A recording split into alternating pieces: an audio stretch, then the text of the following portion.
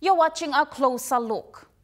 Plans of maintaining service delivery has been the priority of the government. With that, Prime Minister James Marape has recently announced the five years of governance achievement from 2019 to 2024. On the 30th of May 2024, Prime Minister James Marape has stated the achievements of the government starting with the economy. He also took the time to admit that the government is aware of the cost of living and household items in the country. Our families are struggling to put food on the table. Our parents are struggling to pay for the cost of their children's health and education. Food costs and household costs have increased quickly over the last two years, and I am admitting this. As any responsible government, we must make admissions so that we make interventions for the better going forward. From available information, living standards today, and I just want to put this out so everyone have a read on this. This is from the, the information we have in government. From available information, living standards today are 38% lower than that at independence. Mr. Marape said with proper fiscal policy tools used, the country's economy was recovered. We have made progress despite the headwinds of worst global pandemic in a century, despite the wars that is happening elsewhere, despite the uncertainty in Middle East that has a link to oil price that affects us also. We also know that families are struggling, but we have deliberately used our fiscal policy tools before us to try our very best to contain an economy that would have gone haywire if we made no intervention.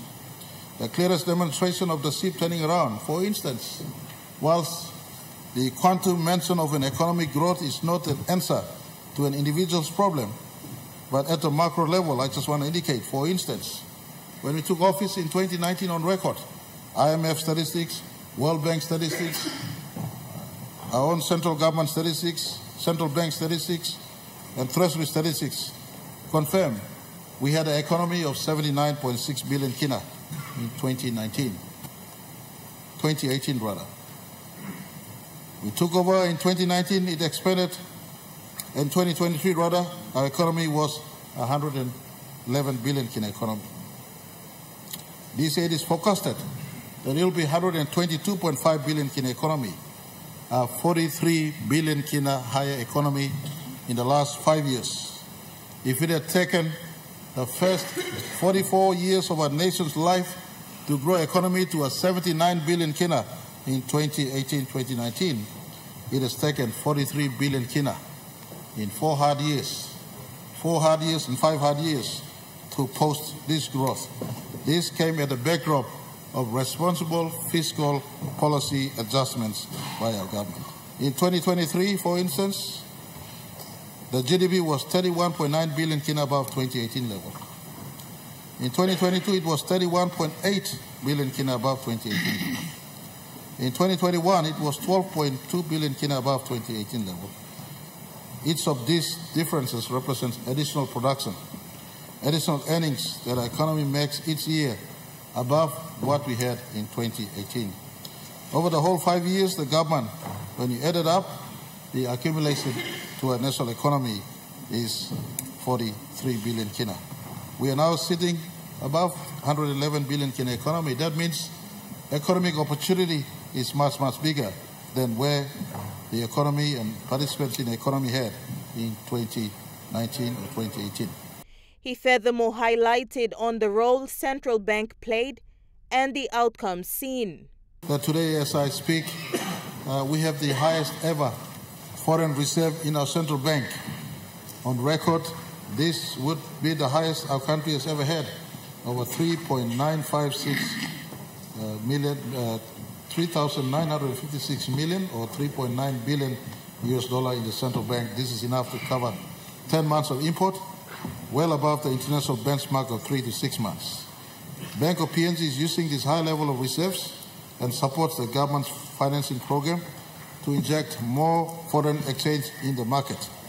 Indeed, in 2023, for instance, Bank of PNG injected over 1.6 billion dollars into the foreign exchange market, worth nearly 6 billion. This is a massive level of funding support in just 2023 to solve the foreign exchange shortage. Contrary to what many may say, almost equivalent to a combined budget in health and education of 6.2 billion in 2023. There was huge backlog of forex, and you know, Mrs. Deputy Speaker, I just want to indicate to this House, Central Bank has been clearing this backlog. By the end of March 2024, outstanding forex orders of more than two months old for trade goods and services has fallen by 46 million. This is a much better result than expected. We are on track to get rid of backlogs on foreign exchange orders, on traded goods by 2025, and on dividends by 2026, and return to Kina full convertibility by 2027.